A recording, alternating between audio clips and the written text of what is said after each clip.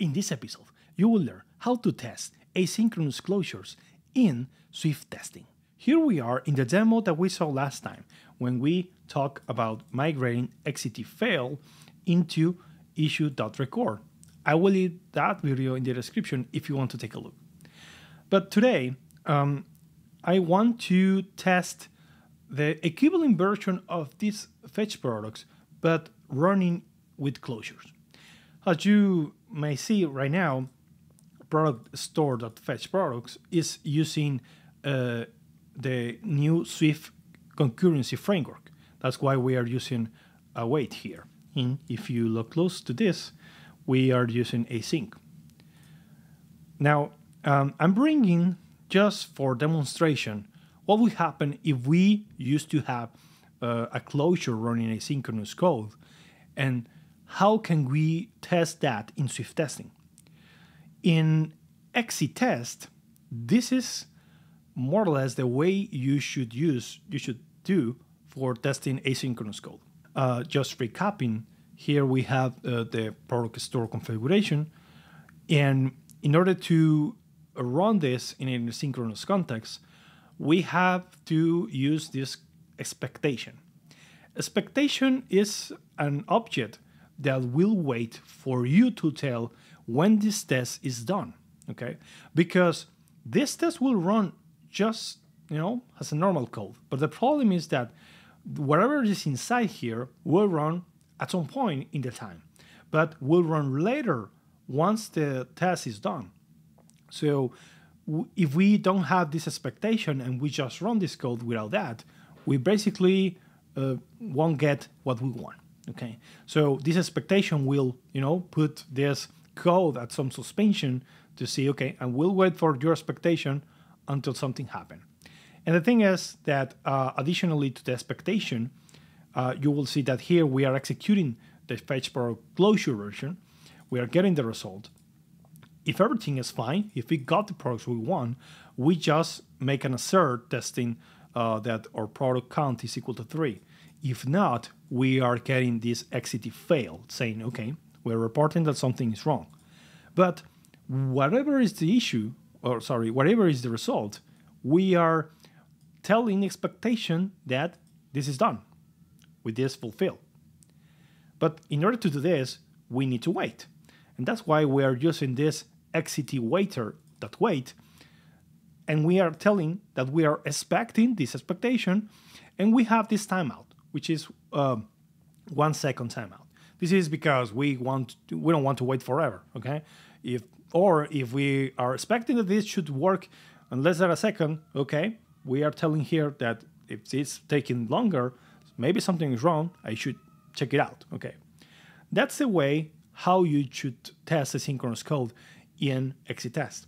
Now the question is, what should do, what you should do for Swift testing, and let me show you how to do it. Let's jump here. Let me hide this for now because we don't need it. And again, um, we have the uh, previous te uh, uh, test that we migrate to Swift testing. Now we want to do the same with the previous uh, test that we just saw.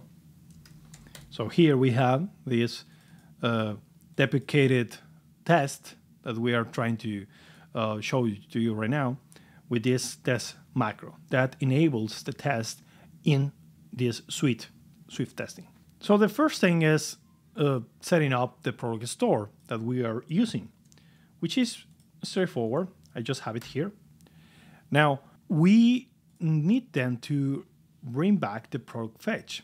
We are going to bring it here, result in, and we will do something here with the result we'll yeah, there you go. There you go. Well, thanks to the autocomplete is, you know, uh, completing this for me. But this is, uh, this won't be the final result. Well, um, again, here uh, we cannot use this spec directly because this test will happen, or this expectation will happen after this test is finishing the execution. So we need uh, some sort of uh, action to wait for this expectation. Okay. The way to test this closure, asynchronous closure, is using part of the API from Swift concurrency uh, that will allow us to transform this closure into an async await format.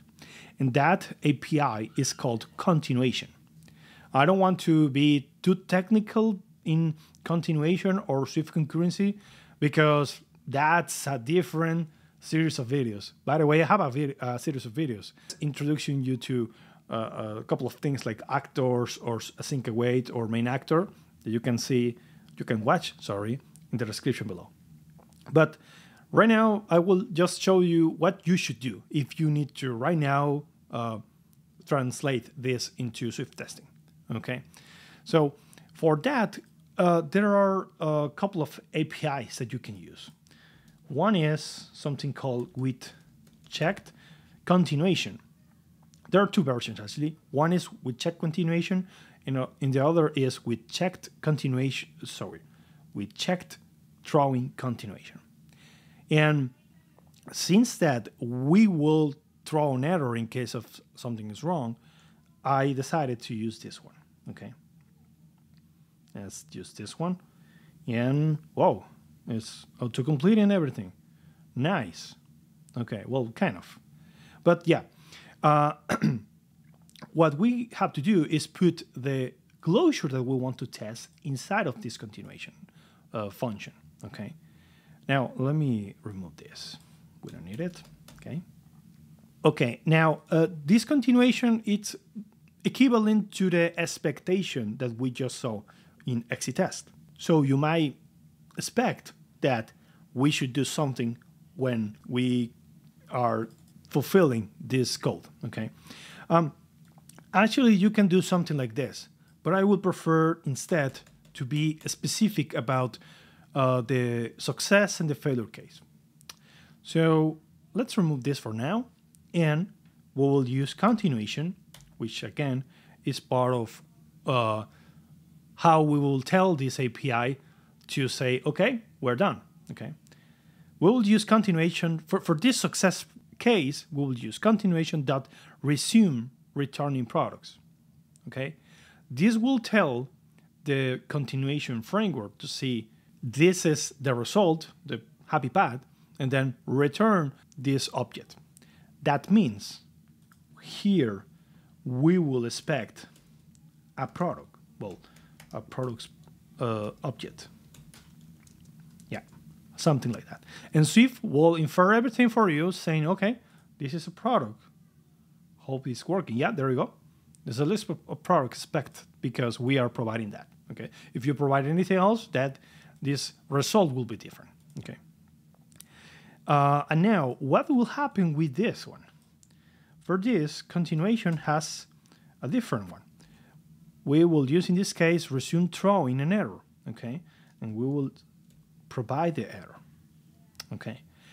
And that's the configuration we have to use internally in this closure. Now, what is, why is this code still marking issues? Because it is transforming this closure into async await. And since that this is the new Swift concurrency framework, we need to use await. And since this is throwing an error, we should also mark with try. And we do have to do the same here.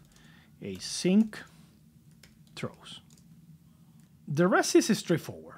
This ceremony could be a little bit verbose, but again, this is just in case you don't have enough time to test, or sorry, to migrate your closure into async await, which will be the best or the ideal thing that you should do. Uh, but in case you don't want to touch anything because, I mean, if it's not broken, don't fix it. Well, this is a great way to do it. Now, the only thing here is just testing, okay, what is the expected result? And for that, there we go. For that, we just have to do this and we are good to go. Then let's run this and see what happens.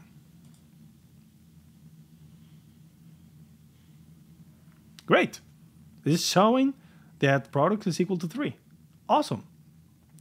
However, what will happen if we got an issue? Let's see that. Let's use, as we saw in the previous episode, we have a test success. There is a mock uh, environment that I have. Let's use test error. And now see the result.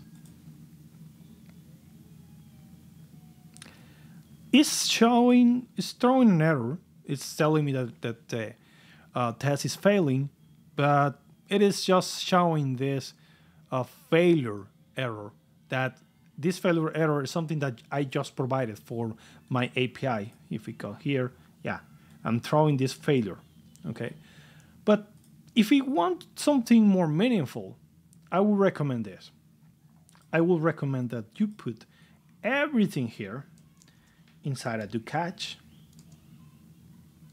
There you go. Okay. And now you can use a catch. Okay. And now use the issue.record that we saw in the previous episode right here, explain that we got something different to loaded state. Okay. Now let's see the result. This should be more meaningful for the test. Okay, we are getting an issue again, but this time we got something more meaningful. Issue recorded, expected loaded state, but got not started. Well, something I need to figure out what, what what's going on here, but you got the idea. Um, this is the way you should use, and I hope this could help you not only with Swift testing, but maybe with other uh, implementations that you could have transforming closures into Swift concurrency. Well, tell me, what do you think about this way to migrate closures into Swift concurrency and Swift testing? I would like to read your comments and really welcome to any feedback you have. That's it for me. So thank you so much and have a great day.